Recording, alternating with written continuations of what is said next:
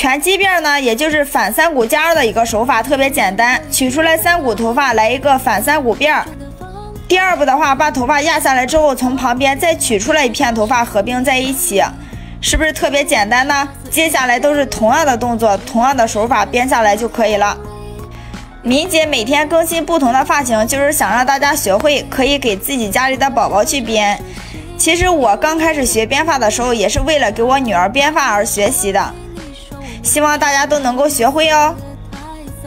我这个教程的话是非常非常慢的，而且全程是没有暂停的，就这样一直夹头发，夹到最后，咱们直接就往下压头发，就不再夹了就行了，直接编编下来，用小黑色小皮筋固定。